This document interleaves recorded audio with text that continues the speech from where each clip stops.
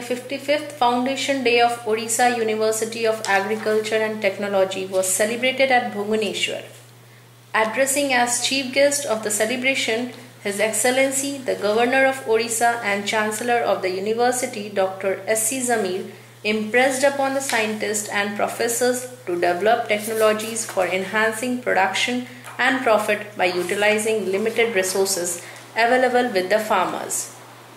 He expressed satisfaction over the initiatives taken by the university to boost up pulse production in the state through formation of Pulse Hub. He congratulated the students for achieving academic excellence at national level. The guest of honor, Sri Pradeep Maharathi, Honorable Minister of Agriculture and Farmer Empowerment, Fisheries and Animal Resources Development, Government of Odisha, and Pro-Chancellor of the University emphasized on yield enhancement of various crops by use of technologies developed by the research stations. He urged upon the farmers to avail the opportunity of various government programs and technologies available with the scientists.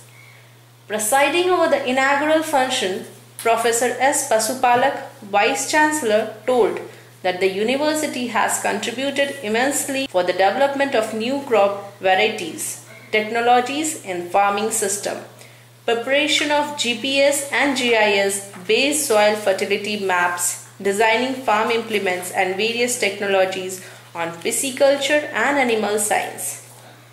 The research program has become farmer centric by developing action plan basing on farmers problems.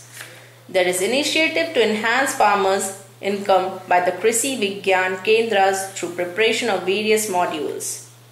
About 100 farmers from various districts have participated in the program. Many farmers and farm women were facilitated for their contribution in the field of agriculture and allied sector.